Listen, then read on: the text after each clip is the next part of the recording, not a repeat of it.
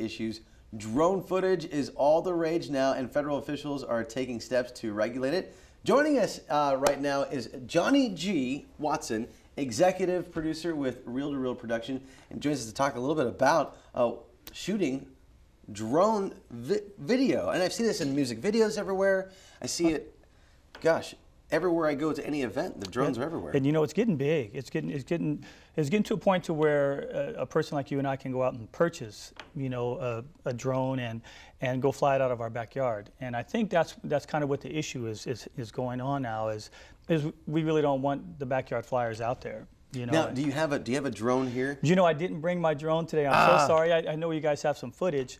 Um, I shot of the Arvin High School graduation, right. and you know, of course, I, am a teacher out at Arvin High School, and, and we're now teaching kind of drone technology in my classroom. See, that's what's interesting to me. So you you teach over at Arvin High already, yes. mm -hmm. and mm-hmm. now you've made this a part of your curriculum. Curriculum. Yes, you know, because you know we, we have people that come and visit our school all the time, and a, a couple of farmers came in, a couple oil guys came in, and they were talking about the use of drones, you know, on on their facilities. Mm -hmm. You know, looking at surveying farmland, looking at oil wells from a different perspective, and so they're going to need people who have that drone experience. And I thought, well, what a better way to do it? Because I have a classroom that's set up for for video and television anyway. So let's do it. You know, so one thing I heard uh, when they started talking about drones usage in um, for events or whatever, mm -hmm. that you need a pilot's license. Is this true? Man, I tell you what, I, I'm trying to stay on top of these things.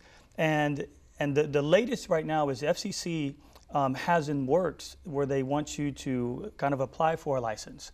But okay. it'll be it'll be a, a, very smaller scale. You will need to know some basic, um, you know, flying terminology, things okay. like that. But it's not it's not going to be anything that's too rigorous that you couldn't do. But there is going to be a process, and that was that was at the end of February of this year. So they're they're making strides, you know, every day to, to try and do something to curtail a lot of the the amateur flying, I guess. How much? How much do the drones cost? Say some, you want to get one for your your kid for Christmas. Teach him how to how to start flying drones because this is the wave of the future here. Yeah, you know, um, you can.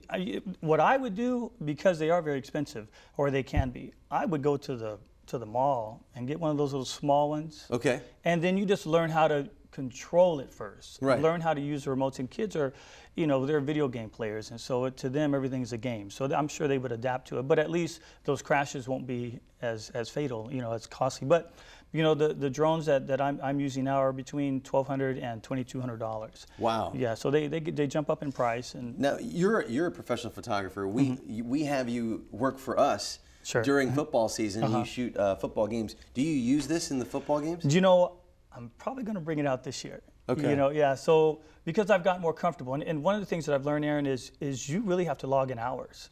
You have to become a person who who knows the, the flying grid. You know, you almost have to have a flight plan. You have to have a backup plan, and all mm. these things. And I'm thinking, man, if I were really flying a plane right now, right? Yeah, I know. you know, it's there's a lot to do, and and a lot that goes on. I mean, wind is a factor. Let's say, for example, real quickly, you're flying at a football game, and you're getting some shots, and you go above the stadium. Well, the winds up above the stadium might be 15, 20 miles an hour, you mm -hmm. know, mm-hmm. faster, and you have to learn how to control that and be ready for it. Well, yeah. how can we contact you to learn more about uh, Reel to Reel? Uh, well, you, you can contact me at uh, my you know Facebook page. Of course, you can find me Johnny G Watson, um, www.reel2reelservices you know dot .com. You know you can you can find me pretty easy. Um, but you know my passion is is teaching out at Arvin High School, and, and man, I of course, video is fun to do on the side, but man, I, I, really enjoy my time, you know, teaching. And then, you know, of course, we have a lot of our graduates that are working here in the local stations now. Oh, so, yeah. so that makes it a lot of fun. Well, an educator taking uh, the future by the reins and uh, using uh, the technology of drone technology in your class. I appreciate it. Hey, thank you so much, buddy. I appreciate the time. Johnny, appreciate your time so much. Johnny G. Watson, everybody. Well, still ahead.